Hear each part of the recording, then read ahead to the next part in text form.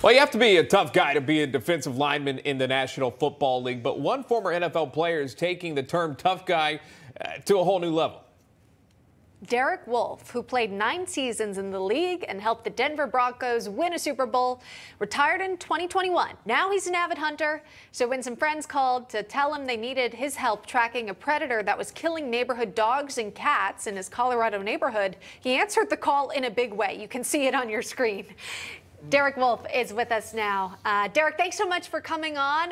Incredible story here. The picture kind of shows us the end result, but if you could walk us through it, how did you actually track down this mountain lion and, and get it under control? Yeah, so um, it wasn't like we had targeted this cat, this specific cat. It was an area that had uh, an abundance of, uh, of mountain lions. And not far down the road, there, you know, last year an eight-year-old kid was uh, was attacked, um, and then there was a couple dogs that had been killed in the couple years leading up to that. And um, then we, after my buddy called me, they made a fresh snow, and he said, "Hey, you want to come up here and and uh, try to?" It's called cutting tracks, and that's when you get the hounds. So you get you, you're in Colorado, it's legal to use dogs um, to track these cats, which it's almost impossible to do without them. Um, and it's also great for the conservation because then, then you get them treed and you can determine whether it's a male and um, if it's a if it's a lion that's worth just chasing off or it's one that is ready to go. Um, and it's great for the conservation of these animals and the population is um, thriving here in Colorado at least. Uh, North America totally is thriving um, with mountain lions. So this was a totally legal hunt. Everything I did everything by the book. Um, but basically, what happened was, you know, we had a fresh snow, and he said, "Hey, you want to come hunt some lions?" I said, "Let's do it." You know, so I grabbed my bow, jumped in the truck, and we went up. You know, we headed up there. And, and uh, we found the tracks. We found. Sorry, I didn't mean to cut you off. No, no, no I was, was going to jump in just to say, Derek, because you, you were saying it's a great thing for the conservation, uh, and you talked about it happening there in Colorado. You obviously know it's for some people it wasn't such a great thing on social media, right? There's a lot of pushback. Um, especially after the photo uh, coming under fire on social media. Um, some pra obviously praising your bravery, but some criticizing you online. Um, it's a mixed bag for, for this. Talk to me about some of the backlash that you've received. Yeah, you know, most of the backlash comes from, you know, there's not, they're not rationally thinking here. It's coming from an emotional side of it. Yeah, and I understand, you know, I love animals as well. Um, that's why I, I feel it's part of my duty as a hunter. I love hunting deer and elk. Um, so I think that predator control is an important part of that. And, um, you know, if we're going to, the North American model for conservation is the, is the gold standard. So everything that we do here in North America is is based on science, and biologists have come up with all these different numbers. And um, you know, like I said, I'm not a scientist or any of that. I'm just a, an ex football player that loves to hunt, and that's kind of what I'm trying to do. And now it's kind of taken on this new role, yeah. to where I feel like I feel like it's my uh, my duty almost to try to bring us hunter as hunters to bring us together and help fight, you know, these different organizations that are trying to just destroy our way of life. Mm. And they want to, you know, and just in Oregon alone, they're trying to outlaw hunting and fishing, trying to make it completely illegal.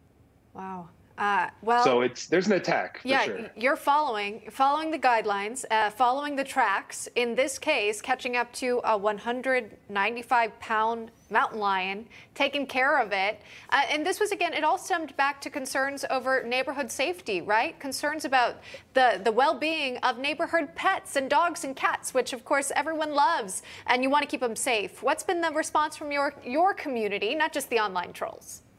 Yeah, and it, like I said, this was this wasn't my actual neighborhood where I live, mm-hmm. but I do live 45 minutes from there, and then I have a cabin that's not far from there as well. So, it, you know, this is to me, it's a big problem. You know, just in uh, Boulder alone last year, there was a, a mountain lion that I was that was actually because uh, a lot of people, sorry, but a lot of people were saying, hey, why don't we just relocate the cat? Well, they tried that in Boulder, and when they relocated that cat in Boulder out to the Nederland area, it ended up in 30 days killing 15 pets.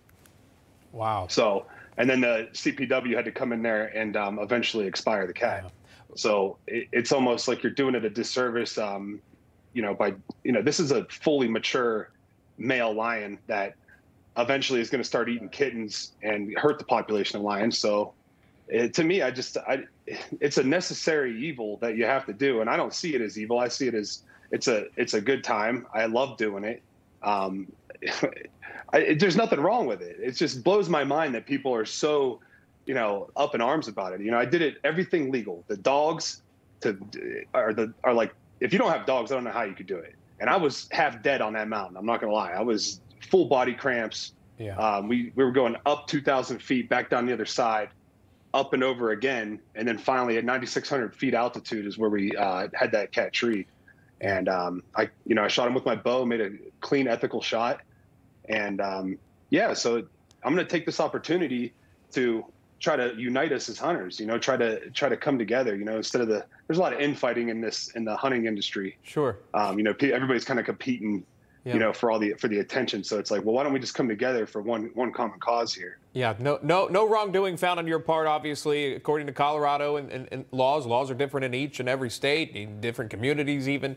Uh, we appreciate you sharing your story. I know there's a mixed bag of reviews on that, but either way, Derek uh, Wolfe uh, joining us live with his picture. That last question, really quickly, we got to go. But what did you do with the with the lion? What happens after it's killed?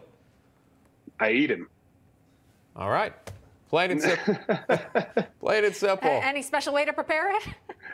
Uh, yeah, made made breakfast sausages out of it. Um, snack sticks like uh, beef jerky, snack sticks. Uh, it's it, people really. It sounds crazy to eat a mountain lion, right? Because uh, it's a feline, but it's actually a very sweet meat. Tastes a lot like pork. Um, my three-year-old daughter loves it, so it's it's a good meat, man. I love it. Oh, the 195 pounds of it. Enjoy. Derek, Derek Wolfe joining us live. Good to see you, Derek. Thank you, thank you so much for sharing your story. We appreciate it. Thanks for having me, guys.